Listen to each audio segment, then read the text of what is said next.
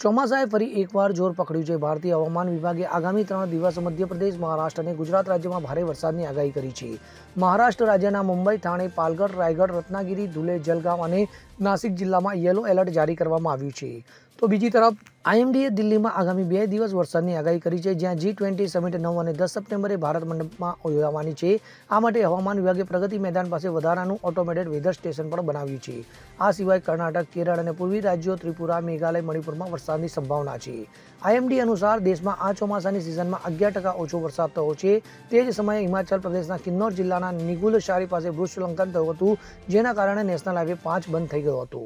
ત્યારે આગામી ચોવીસ કલાકમાં મધ્યપ્રદેશ ગુજરાત, મહારાષ્ટ્ર, કર્ણાટક, ગોવા, કેરળ અને તમિલનાડુમાં ભારે વરસાદ પડવાની શક્યતા વ્યક્ત કરાઈ છે. તો યુપી, બિહાર, રાજસ્થાન, આસામ, મેઘાલય, નાગાલેન્ડ, ત્રિપુરા, મિઝોરમ અને મણિપુરમાં હળવો વરસાદ પડી શકે છે.